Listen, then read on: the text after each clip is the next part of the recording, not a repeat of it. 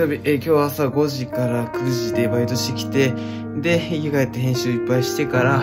えー、っと、そうですね。編集ずっとしましたね。で、えー、ちょっとなんかした、しようかなということで、今日はまあ、ヒゲラズをまた行ってきたんですけど、そこでちょっと有力、えー、有用な情報を得たんですけど、えっ、とまあ、皆さん小鼻のちょっと黒ずみとか気になったりしませんか？まあ、僕もずっと気になってたんですけど、でも、最近あの、クレンジングオイルとかで洗顔するようになってからかなり今マシになってきてはいるので、まあ、さほど気にはしてないんですけど、まあもうこの眉間の間の、まあ、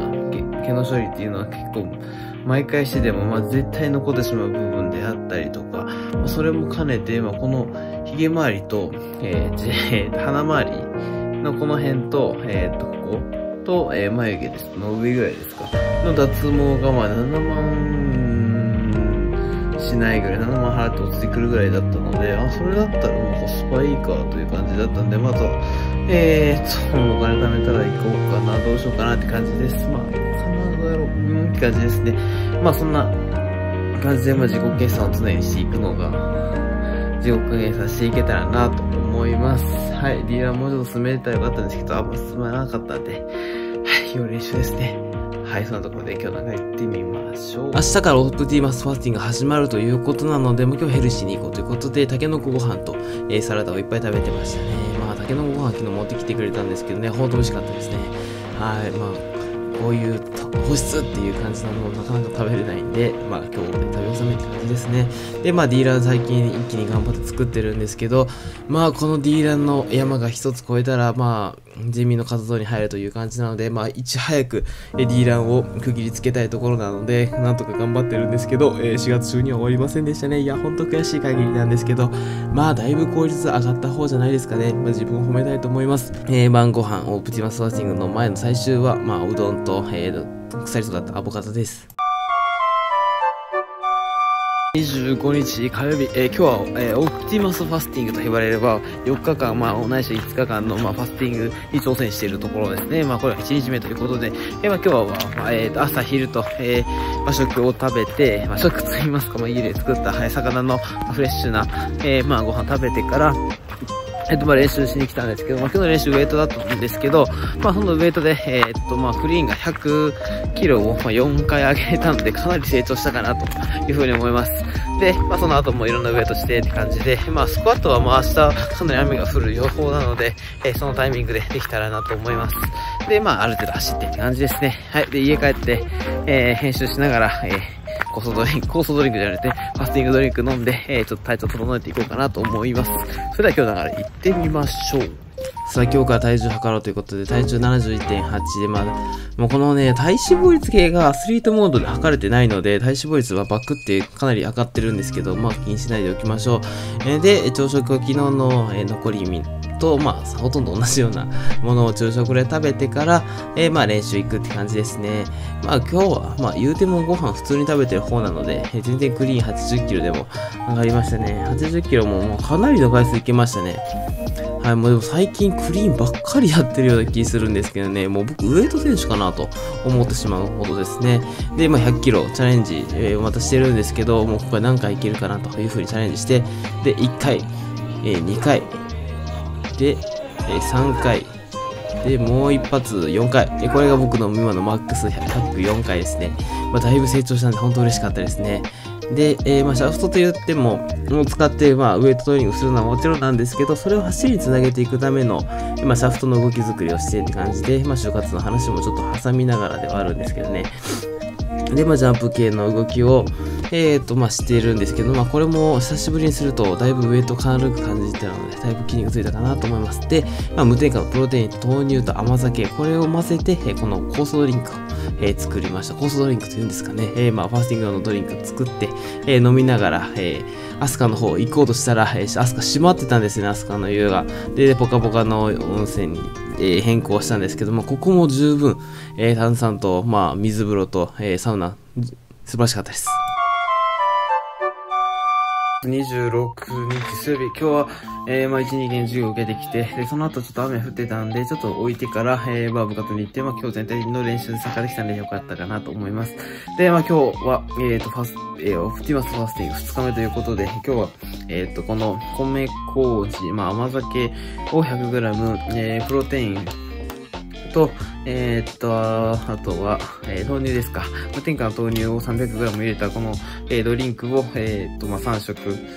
分に置き換えて飲むって形でしたね。はい。なかなか、えー、お腹はすくという感じではないんですけど、まあご飯食べたいなという感じはあるんですけどね。まあでも腸内の、えー、っとリフ、リフレッシュであったり、まあ体調の改善を、えー、するためには、まあこういったこともしていかないといけないのかなというふうに思うので、えー、まあちょっと大変ですけどね、えー、ちょっと頑張っていこうかなと思います。はい。そんなところで今日ははい行ってみましょう。はい、ファスティング2日目ですね。体重かなり落ちました。1キロ今日落ちましたね。まあ、サウナで水が透け抜けてるとか、まあ、言わないでくださいね。もう水分取ってるんでね、しっかりと。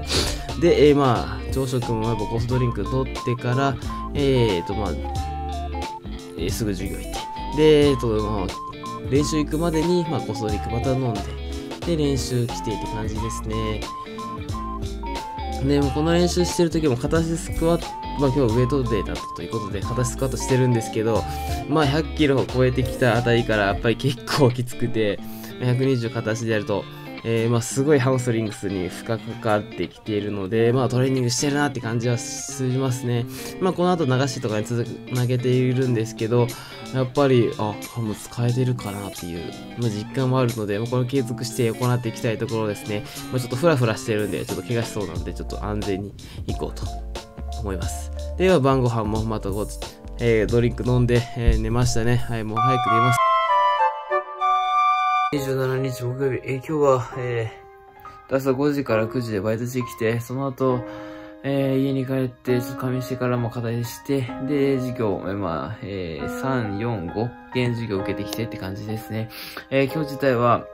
えー、練習行こうと思ったんですけど、結構冷えてたんで、えー、明日午前中は、まあ、授業ないので、その時間で、えー、暖かいうちに SD をしようかなと思います。まあ、冷えた中で SD しても、ちょっと切り上がりきれない部分があるので、まあ、暖かいところでやる方が、まあ、いいかなということで、明日しようと思います。で、まあ、今日は、えっ、と、オプティマスファスティング、まあ、3日目、まあ、最大の今まですね。えっ、と、まあ、ファスティングドリンクを、まあ、今日も頑張って飲み続けて、美味しいんですけどね。で、飲み続けて、で、えー、まあ今日が飲む、あのドリンク飲むのが、まあほぼほぼ最後と、まあ明日の夜は1回ぐらい飲むんですけど、まあそれ以外は飲まないんで、えー、明日はようやく、えー、フルーツと、えー、おかゆを食べれるということなので、本当楽しみで仕方がなくて早く寝て明日にならないかなっていう風に思ってるんですけど、えーと、どうですかね。あの、顔が引き締まった感じしませんかね。えー、ほうれい線がだいぶ薄くなったような気もしますし、肌もツヤ良くなってる感じもしますね。はい。まあ、体重も実際に落ちてるし、ますし、えー、っと、まあ、体脂肪率は下がっていて、で、筋量はあんまり落ちていないので、まあ、かなりいいかなと思います。えー、ただね、あの、食べたいという欲が強すぎて、えー、っと、まあ、寝たら、えー、っと、なんか食べてる夢を見てしまって、あ、食べたらいけないのに食べてしまったという自己嫌悪に陥るような夢ばっかり見ますね。本当にもう、もうなんかもう、咀嚼をしてないので、最近。えー、それがもう愛おしいくてたまらないといったところですね。もう YouTube とか開いて、食べ物の動画見ると本当にもう、もう心が締まり、心が本当に辛い、まあ辛い気持ちになりますね。はい。まあそんなこと言っても知らないんで、まあなんとか乗り切ろうと思います。はい、そのところで今日の行ってみましょう。はい、えー、ファスティング3日目ですね。で、やっと60キロ台見えましたね。はい。まあこの60キロ台見えただけでもだいぶ、あ、頑張ってよかったなと思います。で、まあ今日朝バイトだったので、まあ、4時25分ぐらいにまあコストドリンク飲んでバイト行って、で帰ってきてからまあドリンクまた飲んで、で授業行って、で帰ってまたドリンク飲むともう飲みすぎですよね。まあある程度カロリーこれ高いので、え普通の日には飲んだら大変なことになるので、まあこういう日だけですね。はい、でもだいぶから、あの、食事の時間がなくなったということなので、時間がかなりできたので、まあそれはまあいいんですけど、まあ、食事の時間で大切だなと思いながらディーラーを、えー、しみじみと作る感じですね。はい、飯食いたかったです。28日金曜日、えー、今日は、えー、昨日走れなかったということで、えー、今日昼間、えー、競技場に来て ST を中心に練習してるって形で、えー、と今日はマックスフライの試合用のやつで走ってるんですけど、まあ、今日というよりかはもうこれから、えー、練習は、えー、この試合用のマックスフライで経験戦に向けて、えー、頑張っていこうかなと思います。やっぱり、えー、パンクしたマックスフライで走ってると、やっぱ足首熱出しやすくなったりとか、走りにくかったりとかやっぱするので、やっぱり試合の、え、感覚つかむためにも、やっぱり、えー、ちょっと壊れるリスクがあってでもそのリスクは背負わないといけないのかなと思って、え、こうやってやっていきたと思います。で、SD 自体は、あまあ、ちょっと体が浮いてし浮いてしまうというか、えー、っと、まあ、前に、えー、力を伝えきれてないなっていう感じはあったので、えー、ちょっと練習しないといけないなって感じなんですけど、まあ、今日はファスティング4日目最終日なんですけど、このオプティマスファスティング始めて、えーえー、まあ、4日経つっていう感じで、えーとま、昨日の夜 D ランしてたら、だいぶ、え、食欲も気が紛れたので、やっぱり、えー、何か熱中していることがあったら、やっぱ食欲っていうものは、え、消せるのかなっていうふうに、ちょっと簡易的に思いました。で、まあ、今日は朝フルーツ食べて、えー、もうちょっとだけ、あと2食頑張ったら、明日が普通の食事ですね。まあ、普通の食事って言っても、油物はあんまり取らないように気をつけていこうと思います。はい。まあ、今日バイトあるんで、それに、バイトあるんですけど、まあ、日は夕方バイトあって、その後また帰って D ラン作ろうと思います。はい、そのところで今日は行ってみましょう。さあ、3日目、体重が69.2キロとだいぶまあ落ちていきましたね。はい、順調でそのものいいですね。まあ、代謝が落ちてるのはまあ仕方ないので、もうここから代謝上がってくるだろうと思います。で、フルーツ食べたんですけども、このフルーツの甘みとは、こんなに甘いのかと、改めて感じました。で、まあ、えっ、ー、と、まあ、走ったりしてるんですけど、まあ、この走ってるのも、まあ、結構、えっ、ー、と、エネルギー不足してるなと感じながら、まあ、動いてるんですけど、でも体自体の軽さはあったので、バウンディングとかホッピングとかはすごくスムーズに行えたかなと思います。関節が特に楽だったなと思いますね。はい、まあ、体重増えると関節に負荷がかかるっていうのは、まあ、必然なので、まあ、太ったらこうなるのかと、えー、まあ、悔しいところで感じましたね。で、まあ、体重落ちたからウエイトが上がらないというのは本当にやってはいけないので、まあ、それでもウエイトを続けてるんですけど、まあ、この 2times U の、まあ、ウェアも結構気に入ってますね。はい、何がいいかって、まあ、背筋が非常に伸びるというので、まあえー、75ですか、これは、えー、ぐらいでボンボンボンボン上げてるんですけど、まあ、それでも全然、えー、いい強度で練習できました。で、えー、次100キロですか、えー、行ってるんですけど、なかなか上がんないですよね。まあ、1回が2回できるかどうかって感じです。で、その後、まあ、走りつなげようということで、走ってみました。えー、まあまあ、いい力感で走れてるんではないでしょうか。とか言っても肩のり、えー、力み感はすごく歪めないので、そこは改善していかないといけないなって感じで、もうちょっと SD を模索しながらではありますね。で、ちょっとスローで一回見てみましょうか。スローで見てみると、角度自体はあんまりえ悪いとは思わないんですけど腕と上半身、え腕と足の、え噛み合わせが非常に悪いのでそこをもう少し腕を、まリラックスしてというか腕を、えま後発的に足先行で考えていくと、えもう少しスムーズにできるのではないかなと思います。ちょっとそういったところですね。はい改善点としては。で、まあ、お昼ご飯は、えー、サンディで買ったお粥なんですけど、もうこの量入ってて、このカロリー非常に素晴らしいダイエット味方ですよね。はい、ファスティング最終日の、えー、朝食、えー、回復食ですね。食べて、まあ、お粥とか食べてるんですけど、もうこのお粥のもう米の甘み、それだけでも十分すぎるほどの、まあ、贅沢だなと改めて感じました。えー、まあ、椎茸とかも、えー、食物繊維取ろうかなってことなんですけど、この椎茸もまあ、料理酒しかかけてないんですけども、これだけでも椎茸の旨味が十分感じられて、本当美味しいなと改めて思いました。温かい食事って本当幸せなことだと、えー、このファスティングを通して改めて実感できました。はい。で、バイトは、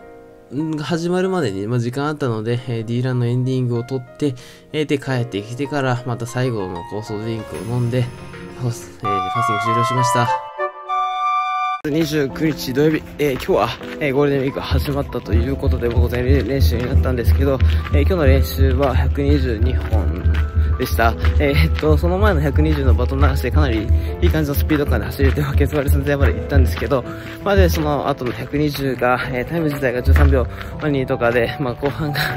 えー、2セット目が準備がかかったりとか、まあ、スケジュール遅かったんで、まあ、タイム以上に、まあ、動きが硬かったので、そこをなんとか改善していかないといけないなというふうに思いました。はい。ちょっと、まあ、それでも体重が、えー、今日オプティマスファスティングかけて、えー、トータルで3キロ今日痩せたので、え、だいぶ体自体は軽くなったんですけど、エネルギー不足がやっぱり歪めないので、やっぱりもうちょっとエネルギー貯めてから、パフォーマンス上げていくと思うので、え今はちょっと耐え時かなと思います。で、今日14時から19時でバイトがあって、えその後ちょっと、えせっかくあんだけ頑張ってきたので、えー、っと、まあ、ちょっとした自分のご褒美ということで回転寿司行って、ちょっとだけ、え食べようかなと思います。まあ、本当に少しだけですね。はい、そのところで今日の流れ行ってみましょう。はい、最終結果出ましたね。68.99かなり落とすことができました。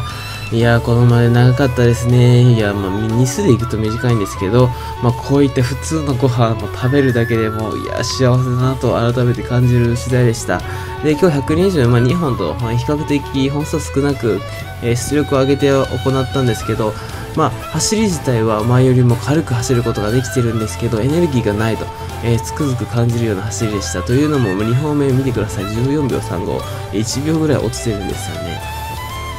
まあ、オークバックとはいえそこまで落ちるかって話なんですよね。なので、まあそういったところでエネルギー不足が感じているのもあるんですけども、ウエイト自体はそれなりに上がってましたね。でもこれはこう、この100キロはなかなか全然上がらないんですよね。まあ最近毎日のようにクリーンしてたんで、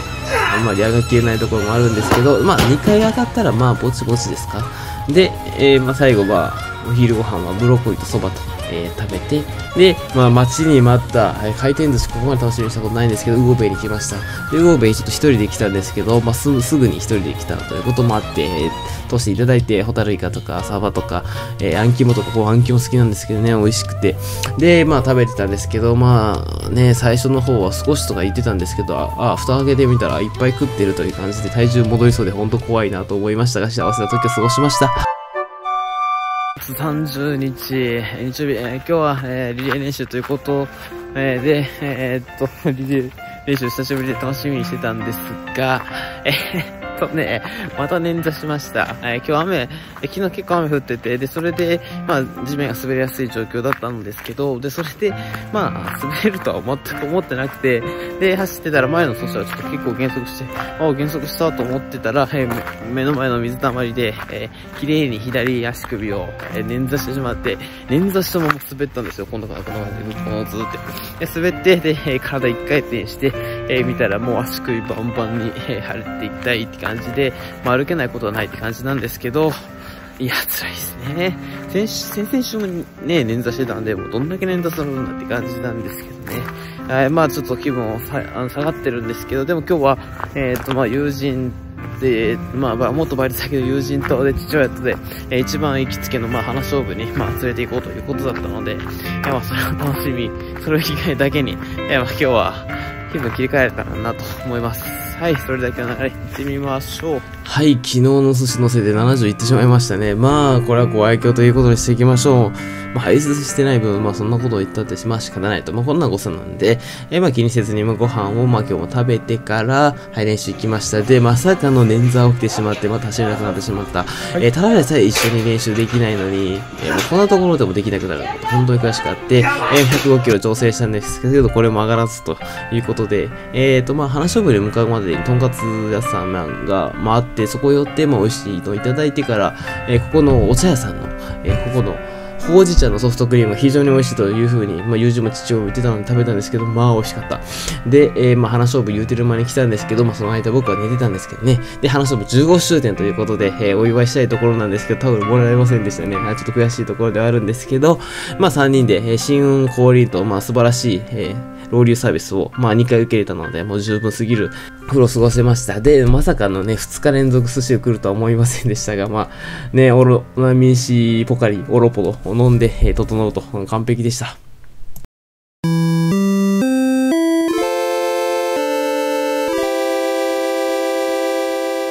さあ、今週1週間振り返っていきます。も今週は何といってもオープティマスマッティングを行ったと、えそんな週だと思います。えー、まあ頑張りましたね。4日間の、えー、ファスティング、本当辛かったんですけど、まあその成果があっても3キロぐらい落ちたんですけど、まあかといってその後に、えまあ、えー、食べに行ったりとか、えしてたので、体重は普通に戻ってる、え可能性が非常に高いので、えなんとも言えませんが、まあまあ、えまあ、体重の上限あったとしても、えこういった取り組みをして、食に対するありがたみであったり、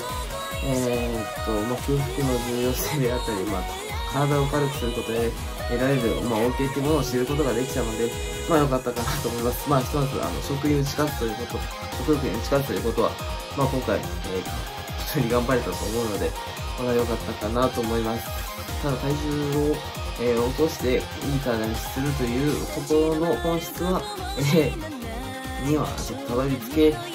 きれていないので、本当にその辺は、えー、毎日考えないといけないところではあるんですけど、ちょっとストレスちょっと過度に考えすぎてる部分があるので、適度なリラックスを持ちながら食に取り組めたら一番いいのかなと思います。はい、で、来週は、えー、京都立教記録会があるということで、それに向けてしっかりと調整していかないといけませんし、えー、関西委員会の、え登録会もあるので、編集の仕事も必ずしないといけない。で、ゴールデンウィークということで、えー、今ディーラーの方を上げていかないといけない。えまあ、いろんなことあるんですけど、それ一つ一つ、え丁寧に、えかつ迅速に、え進めるようにしていこうと思うので、また次の動画でお会いしましょう。